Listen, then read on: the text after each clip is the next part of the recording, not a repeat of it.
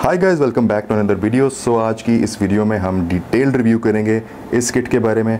मैंने previous video इसके ऊपर बनाई थी बट कुछ लोगों ने मुझे कहा कि we want more detailed video on this kit बहुत ही ज़्यादा सिंपल सा ये एको मिक्सर सर्किट है। छोटा सा एक डीजे सिस्टम भी आप इसको कह सकते हैं।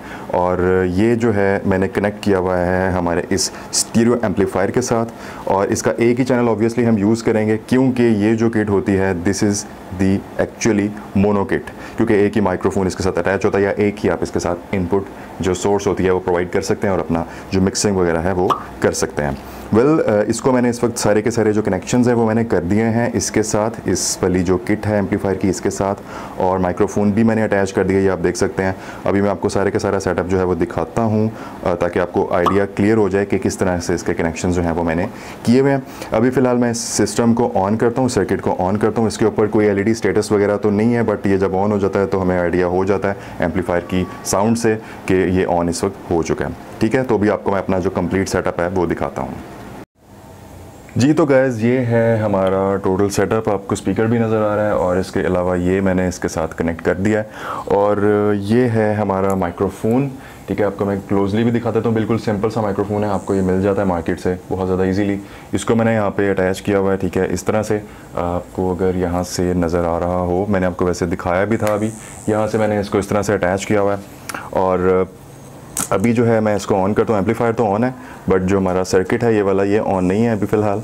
तो अभी इसको मैं ऑन करता हूँ और उसके बाद हम इसकी जो परफॉर्मेंस है वो चेक करते हैं। इसमें आपको थोड़ा सा नॉइज़ ज़रूर आएगा बट वो जो नॉइज़ होता है, वो ऑब्वियसली जब हम इसको इनक्लोज़ कर देंगे, कहीं पे भी प्रॉपर कनेक्शंस करेंगे तो वो ख़त्म हो जाएगा। और एक चीज़ आपने ध्यान में रखनी है माइक्रोफोन को अपने जो स्पीकर है, उसे दूर रखना है। अभी भी आपको नॉइज़ इसलिए भी आएगा, क्योंकि इसको माइक्रोफोन को मैं स्पीकर के करीब ही रख रख रहा हूँ इसलिए। तो वायर आपकी ऑब्वियसली लंबी होती है पीए सिस्टम के अंदर तो आपका जो माइक्रोफोन है, वो आपके स्पीकर से दूर होना चाहिए। अभी मैं इसको ऑन करता हूँ।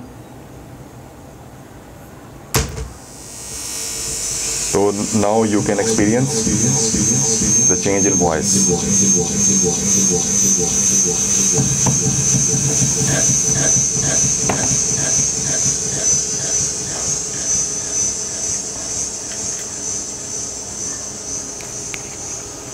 Okay.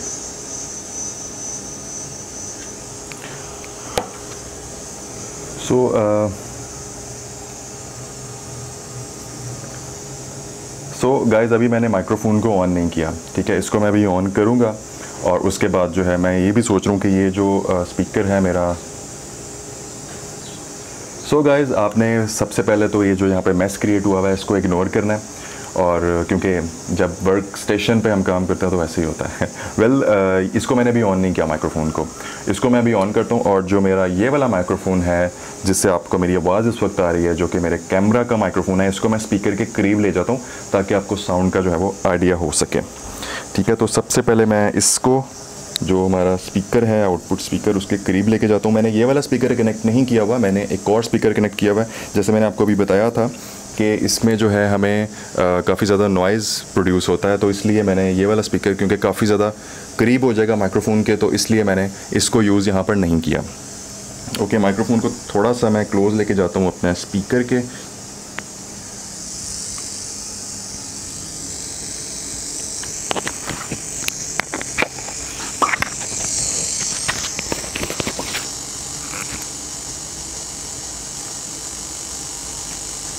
और अब अब जो मैं बोलूँगा वो आपको जो आउटपुट होगी वो जो स्पीकर पे मेरी आवाज़ आ रही होगी माइक्रोफोन के थ्रू वो आपको नज़र आएगी सुनाई देगी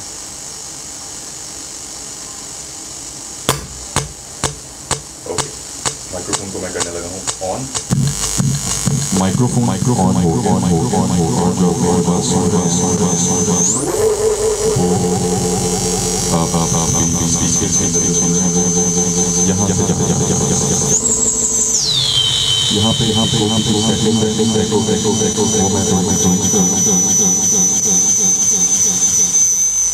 हेलो हेलो होप सो आपको आइडिया हो रहा होगा होगा अपने हिसाब से जो सेटिंग वगैरह है वो कर सकते हैं जैसे भी आपने करनी करनी है हेलो हेलो हेलो ये आपने देखा रेपिटेशन जो है वो ज़्यादा हो रही है तो इसका मतलब ये है कि जो आपकी एको है वो ज़्यादा प्रोड्यूस होती है यहाँ से आप अपने जो नीड है उसके मुताबिक मुताबिक मुताबिक जो है वो उसको सेट कर सकते हैं. So guys I think that's enough for the review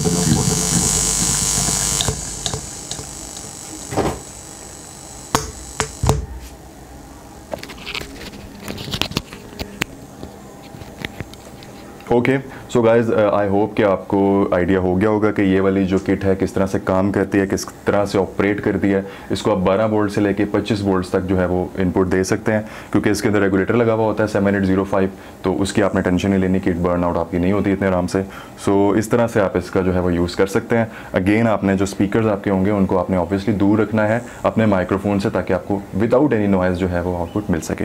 तो ये वाली जो किट है हमारे दराज स्टोर के ऊपर अवेलेबल है। अगर आप वहाँ से इसको परचेज़ करना चाहते हैं तो आप इसको परचेज़ कर सकते हैं।